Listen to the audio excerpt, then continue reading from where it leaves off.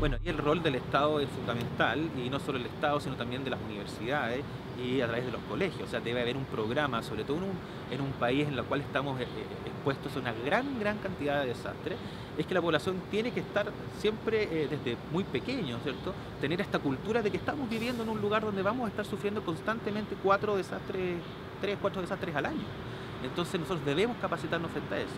Ahora, e-, es rol ¿cierto? del Estado el poder proteger a la población y frente a eso los análisis de cuáles son los peligros a los cuales estamos expuestos para poder ver cómo nosotros podemos disminuir ese peligro para la población o al menos disminuir la vulnerabilidad de la población frente a estos peligros es fundamental.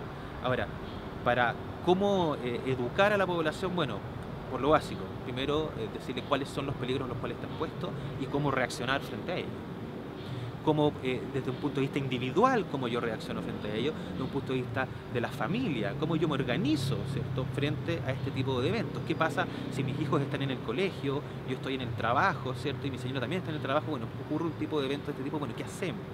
Esto es una preparación. Yo me preparo ya sabiendo cuáles son los peligros a los cuales yo me estoy enfrentando. Y desde el punto de vista de la comunidad, la comunidad se tiene que preparar a través de simulacros o sea, los simulacros para enfrentar todo este tipo de, situaciones son fundamentales para la población.